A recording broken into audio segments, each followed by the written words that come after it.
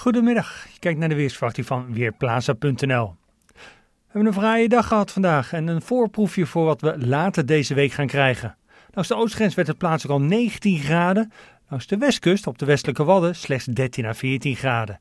Die grote verschillen zullen we vaker zien, want het zeewater is nog steeds koud. 11 graden en ja, als je dan dicht bij zee woont en uh, je krijgt een wind over zee, dan heeft de temperatuur moeite om te stijgen. In binnenland 17 graden en in het oosten dus de hoogste temperaturen.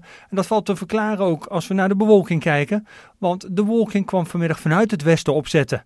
En vooral de kop van Noord-Holland en op Texel kreeg de zon het heel erg moeilijk. Viel in de loop van de middag ook een lokaal buitje, terwijl het in het oosten nog lang zonnig bleef. Die buitjes die laten de radarbeelden ook zien. Ze zitten vooral boven zee, dus wat dat betreft hadden we vanmiddag geluk. Maar vanavond gaan de buien zich langzaam verder over het land uitbreiden. En vooral in de nacht verwacht ik dan op steeds meer plaatsen wat lichte regen. Vanavond dus al een enkel spatje, temperaturen halverwege de avond rond de 14 graden. En in de nacht trekt dat regengebied dan over het hele land, dan overal lichte regen of motregen.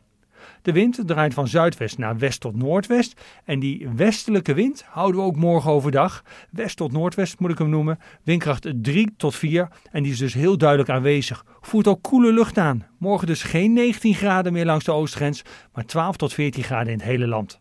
Toch is het verder geen slecht weer, want er zijn flinke zonnige perioden, afgewisseld met wat stapelwolken. En na nog een laatste buitje vroeg in de ochtend blijft het de rest van de dag droog.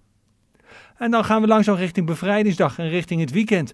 En je hebt de berichten ongetwijfeld al gehoord. De temperaturen gaan omhoog. En behoorlijk omhoog kan ik ook wel zeggen. In het komend weekend kan het misschien zelfs plaatselijk 25 graden worden. En ook op bevrijdingsdag, hemelvaartsdag, als dat belangrijk is.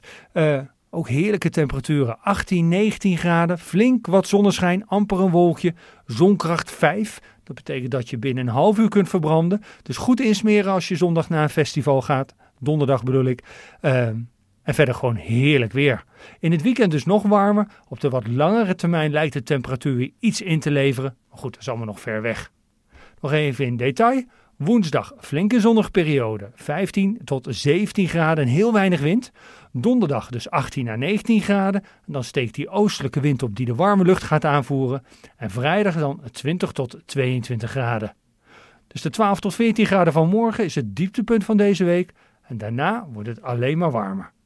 Ik ben Michiel Severin van Weerplaza.nl